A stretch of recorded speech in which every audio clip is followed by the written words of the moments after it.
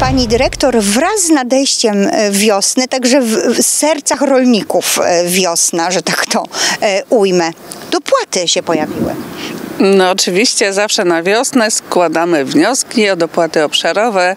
Od 15 marca w województwie dolnośląskim już ponad 2% rolników złożyło wnioski obszarowe e, za pomocą aplikacji Wniosek Plus. Od 2018 roku jest obowiązek elektronicznego składania wniosków. Nie ma najmniejszego problemu, żaden z rolników nie zgłasza nam takiej potrzeby, a dla tych, którzy, którzy chcą pomocy, pomocy. Oczywiście służymy radą, mamy uruchomione stanowiska w każdym biurze powiatowym, stanowiska pomocy technicznej. No i czekamy na Państwa, e, żeby jak najszybciej te wnioski obsługiwać, więc... Pani dyrektor, e, rusza również kampania związana z dopłatami do nawozów i to jest bardzo ważna kwestia dla rolników.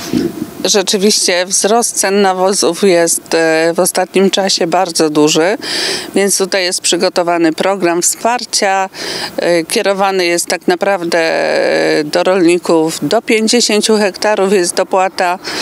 Wnioski będą składane w biurach powiatowych w formie papierowej. Będzie to 500 zł do tony.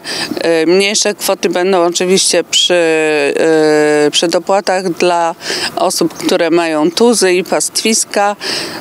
Y, zapraszamy Państwa do składania wniosków. Y, będą to szybko obsłużone, bo do 15 czerwca zaplanowane jest y, zakończenie weryfikacji i wydawanie decyzji w ramach tego programu. Pani dyrektor, ale te dopłaty to nie była taka łatwa sprawa. Wiem, że tam nawet taka batalia rządowa i unijna była prowadzona przez naszych europosłów komisarzy. Mm, tak, już mamy e, jednak sukces.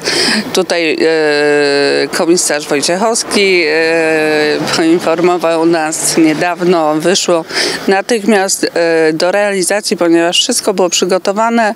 Przygotowane było rozporządzenie, agencja była przygotowana e, jakby od strony formalnej, organizacyjnej, także tylko ta zgoda e, i już uruchamiamy działanie.